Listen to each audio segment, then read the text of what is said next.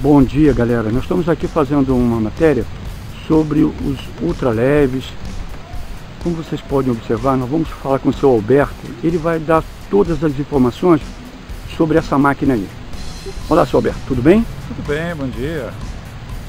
Oh, esse, essa máquina voadora, né, chamada trike, né, que seria triciclo, tanto é que tem três rodas, né? E, e normalmente é, é, o pessoal usa para atividade esportiva principalmente, né? Porque decola com um espaço muito curto, voa com, voa com né, uma velocidade muito baixa, né? então se presta perfeitamente para uma atividade esportiva. E, podemos ver, né? tem uma asa bastante grande, né? um carrinho com motor. Então a gente para poder voar precisamos de pouca pista.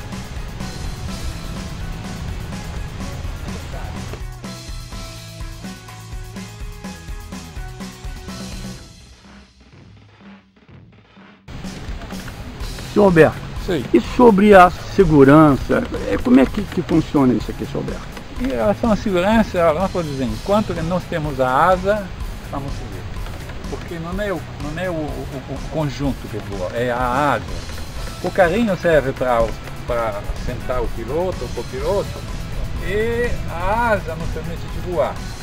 Então, quebrar realmente uma asa dessa é muito difícil.